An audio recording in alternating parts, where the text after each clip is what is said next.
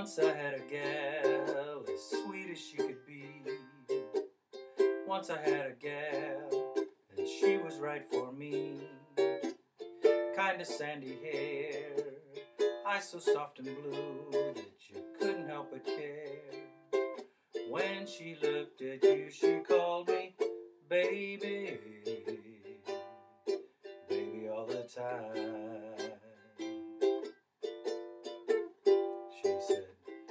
Baby, can't you see? Baby, understand.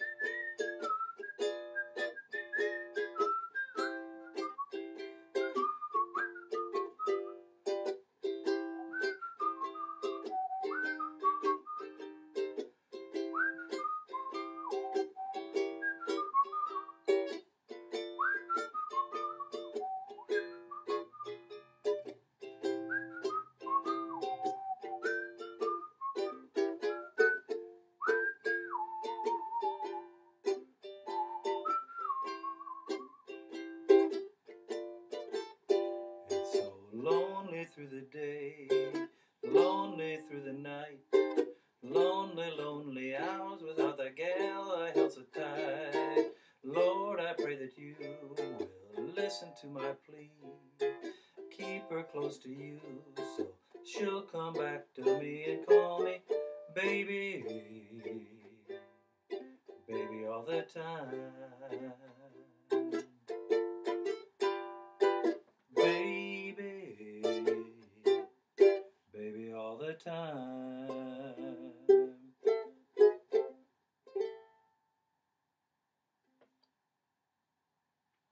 Thing with this song is you're going to get the sheet on ukesterbrown.com and want to practice it, and you're going to look at the chords and you're going to freak probably because there's a lot of chords in here.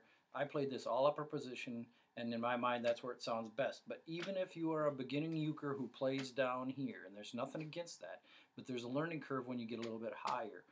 Please watch the rest of this video because I'm going to try and make it easy for you.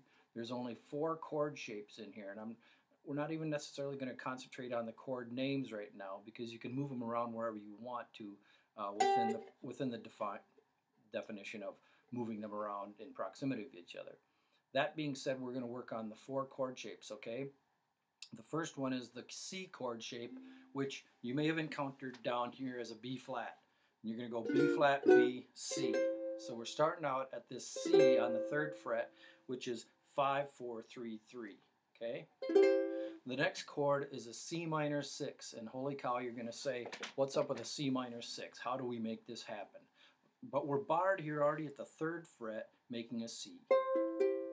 We're going to take this bar, we're going to slide it down to the second fret, and now we're going to cover the first, second, and third strings with this middle finger right there. So we're going to kind of palm it with one finger and get those first three strings. There's our C minor 6. So all we've done is go from the C to this C minor 6. The next chord shape is a C sharp diminished. Now you may know a C diminished and you know that it's a 2 3 2 3. Okay? But when you sharpen it, you're taking off a little bit of the edge of the blade if you're sharpening a knife blade, and so you're going to take a little bit off of your strings and you're going to slide them up once, and you got a C sharp diminished. Same shape. You're just moving it up. Okay, so now we went from a C to a C minor 6 to a C, and we kind of just do a little pivot here because our finger's already on that third fret, and we're going to make that diminished shape at the third and fourth fret. So it's 3 4 3 4. That's a C sharp diminished. Now the next one is a D minor 6, which is almost like a C minor 6, right? Only we're going to move it up to the fourth fret. So this is 4 4 5 5 5. But the same shape as this C minor 6. There's your D minor 6. So, so far we have covered a C, the C minor 6 and a C sharp diminished shape because the D minor 6 is the same shape just on a different fret. Okay, so it's the same shape, but because you moved it in a new location, it's a different chord. The next one, next chord you're going to make is a D diminished. That's the same shape as a C sharp diminished, only you're going to take this chord that you're making now, this D minor 6, and you're going to take that pointer finger and you're going to use that and you're going to pivot it around and make your diminished shape. So it's going to be this way. Your next chord is a C, so you're going to pivot it around and make your, at the third fret,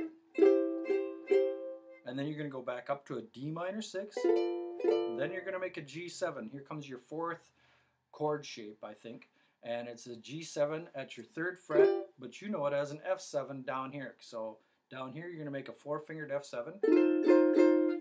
Here's a F sharp 7. Yeah, that's right, F sharp 7. Up here is a G7. So there's your fourth shape.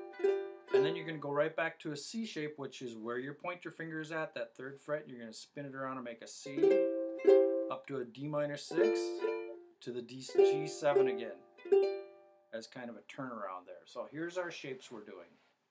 C, C minor 6,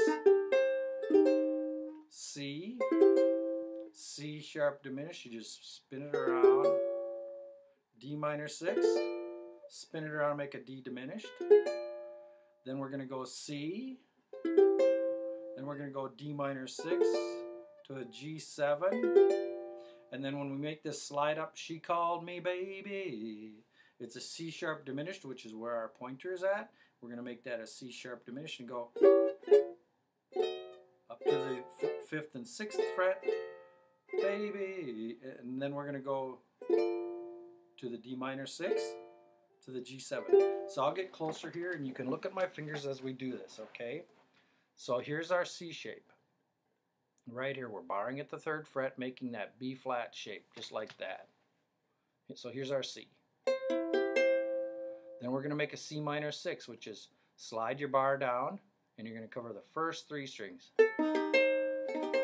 Now we're going to go back up to the C, then we're going to go C sharp diminished where our, our finger's already on that third fret, so we're going to spin it around, hold that position, and make our diminished shape, which is kind of a cluster right here, kind of clunky, kind of hard to show you, but it's 3, 4, 3, 4. Then we're going to make a D, let's see, where am I? D minor 6, so we're going to, uh, let's see, is that right? Yeah, D minor 6, so we're here at the 4th fret, barring it, because it's like the C minor 6 shape down here. I'm going to go up to the fourth fret, make that same shape. That's a D minor 6. And now our finger's already on this fourth fret, and we're going to spin around and make a D diminished. Then we're back to a C, and then back up to a D minor 6, to a G7. Then we're going to do our slide, which is C sharp diminished, D diminished, D sharp diminished, and then we're going to spin around and make that D minor 6 and then to a G7, and then back to a C, a D minor 6, and a G7. And the way I ended it on the third verse was playing that C, bing, bing, bing, and then up to a C6, which is 5, 7, 5, 7, and sliding it down. Gives it a nice jazz clean cut. So here's how it goes, and I'll go a little slow so maybe you can watch it. I'll move my chair up here. So kind of watch my hand. It's so lonely through the day, lonely through the night, lonely, lonely hours without that gal I held so tight. Lord, I pray that you will listen to my plea. Keep me close to you so she'll come back to me. Now here comes this walk up and call me baby. Baby all the time to a D minor 6, G7, back to the D minor 6 for the ending, baby, G7, baby all the time.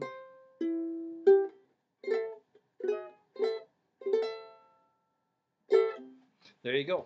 This is this might be a good way for you to be go beyond that third fret, get up in the fifth and sixth fret, and now the miraculous thing, uh, what happens is because you have a movable chord shape, you can then change this to any place you want to, staying within the confines of those intervals. So, not to complicate matters, but if you take this C shape and you want to play it into a different key, that maybe this key was hard for you to sing in, move it up.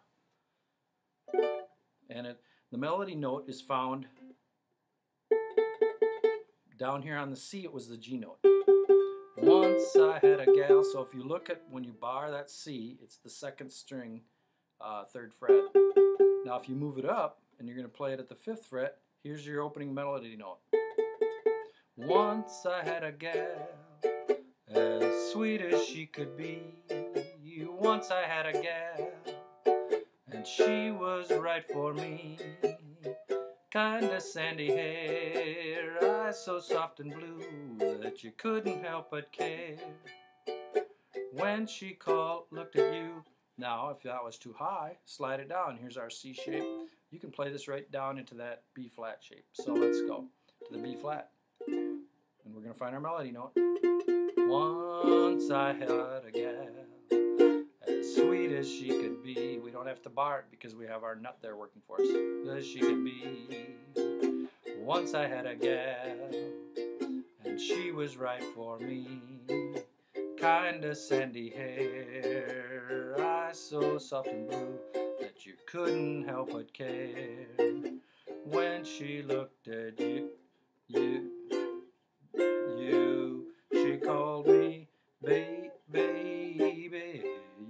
idea. You can move these shapes all over because you're covering four strings, so you can transpose instantly.